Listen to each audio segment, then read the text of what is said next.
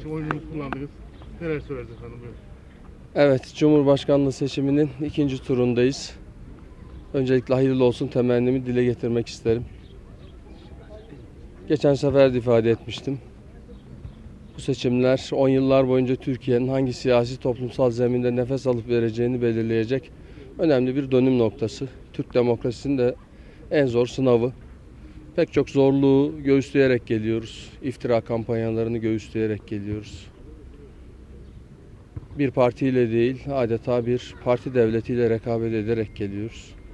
Bütün bunlara rağmen mazerete sığınmadık ama bunları da tarihe kayıt düşmek adına ifade borcumuz var.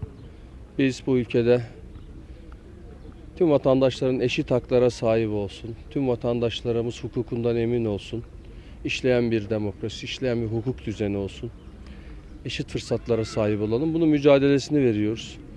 Bu açıdan mücadelemiz Demokrat Parti olarak da bu ortak paydada bir araya gelmiş siyasi partiler ve sivil aktörlerle beraber inşallah devam edecektir.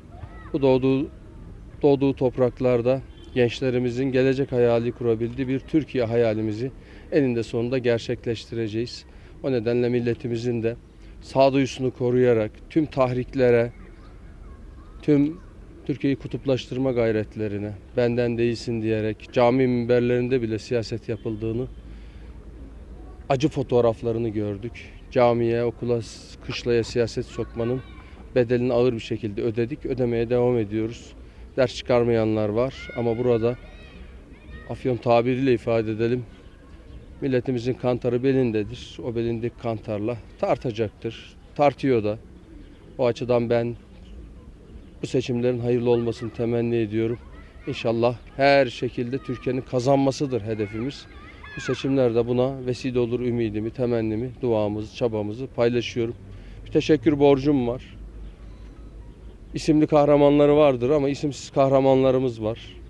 Bu büyük mücadeleye emek koyan, ruh koyan, alın teri döken, Türkiye'de demokrasinin yerleşmesi için çabalayan tüm vatandaşlarıma, tüm mücadele arkadaşlarımıza da bir kez daha teşekkür borcumu ifade etmek isterim.